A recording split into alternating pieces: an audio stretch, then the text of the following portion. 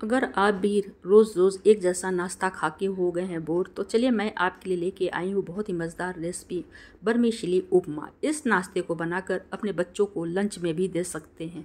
तो चलिए बनाते हैं आज की मज़ेदार रेसिपी, बर्मीशिली उपमा। सबसे पहले मैं आधा चम्मच कढ़ाई में घी डालूँगी। घी से ही बनाइएगा, बहुत ही अच्छा स्वाद आता है। और यहाँ पर मैंने लिया है रोस्टेड जवे या बर्मीशिली।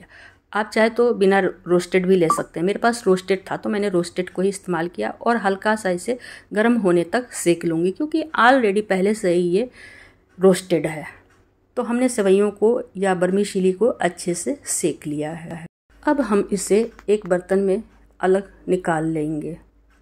वापस से इसी बर्तन में आधा चम्मच फिर से घी डालूँगी और आधा चम्मच जीरा डालूँगी, आधा चम्मच राई डालूँगी। जब राई और जीरा अच्छे से चटकने लग जाएगा, इसके बाद में इसमें फ्रेश कड़ी लिप्स डाल दूँगी।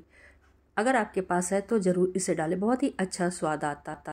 कड़ी लिप्स को फ्लेम लो करके ही डालें, नहीं तो वरना ये चटकने लग जाती है। इसमें मैं डालूँगी अब सब्ज़ियाँ, जिसमें मैंने गाजर को बारीक काट लिया है तो आधा कप बारीक गाजर डालेंगे, आधा कप प्याज डालेंगे। प्याज को आप चाहे तो सोटे भी कर सकते हैं, लेकिन मैं सब ऐसे इसी तरह से एक ही साथ डालूँगी। आधा कप फ्रेश बीन्स डालेंगे। आप अपनी मनपसंद की कोई भी सब्ज़ियाँ ले सकते हैं, और आधा कप फ्रेश मैंने कॉर्नस लिए हैं। कॉर्नस को आप फ्रोज़न भी डाल सकते हैं। मेरे पास फ्रेश पड़ा था तो मैंने फ्रेश ले लिया है। इसके बाद एक कटोरी टमाटर डालेंगे। टमाटर की मात्रा थोड़ी ज़्यादा होगी तो बर्मी सिली बहुत ही अच्छा लगेगा। तो टमाटर की मात्रा थोड़ी ज़्यादा कर लीजिएगा।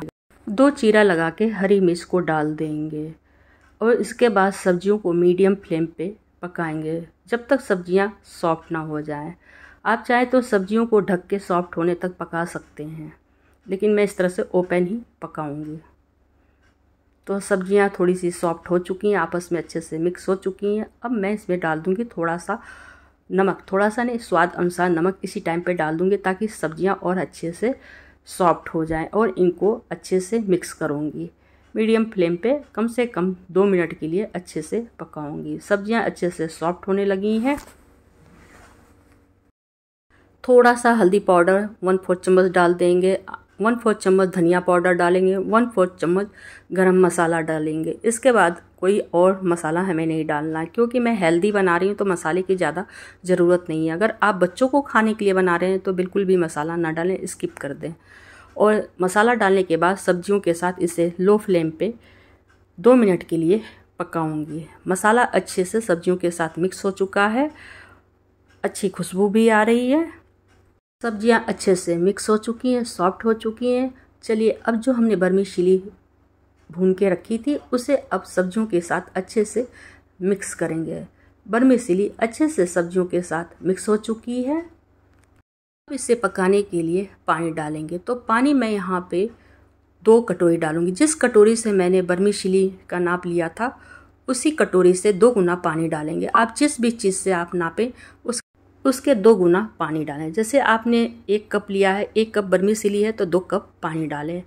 अब मैं सब्जियों के साथ पानी को अच्छे से मिक्स करूँगी और मीडियम फ्लेम पे पाँच मिनट के लिए पकाऊँगी। इसे ढक के पकाएँगे। पाँच मिनट हो गए हैं, चलिए ढक्कन हटा के चेक करते हैं। बर्मी सिली में अभी थोड़ा बहुत पानी है और बर्मी सिली कम से कम एट्टी परसेंट पक भी गई है। तो अब इसे अच्छे से मिक्स करके, चला के, फिर से दोबारा से लो फ्लेम पे तीन मिनट के लिए पकाएँगे। तीन मिनट हो गए हैं, चलिए चेक करते हैं। बर्मी सिली बिल्कुल खिली खिली बनी है। अब इसके ऊपर से थोड़ा सा फ्रेश धनिया डाल देंगे और मैं आपको अभी चला के दिखाती हूँ। बिल्कुल खिली खिली बर्मी सिली उपमा बन के तैयार हो गया है। इस रेसिपी को आप अपने ब्रेकफास्ट में शामिल कर लीजिए या अपने बच्चों को लंच बॉक्स में दे दीजिए। बहुत ही हेल्दी नाश्ता है। एक बार इस रेसिपी को अपने घर में ज़रूर ट्राई कीजिए। पसंद आए रेसिपी तो लाइक कर लीजिएगा शेयर कर लीजिएगा और सब्सक्राइब करना ना भूलिएगा।